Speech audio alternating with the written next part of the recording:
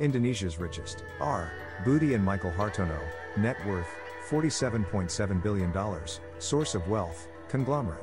Low Tuck Kwong, net worth $25 billion, source of wealth, coal.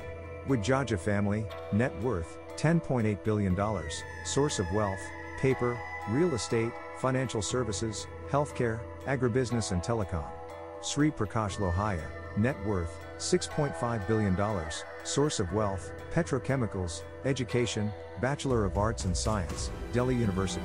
Anthoni Salim and family, net worth $7.5 billion, source of wealth, investments in food, retail, banking, telecom and energy.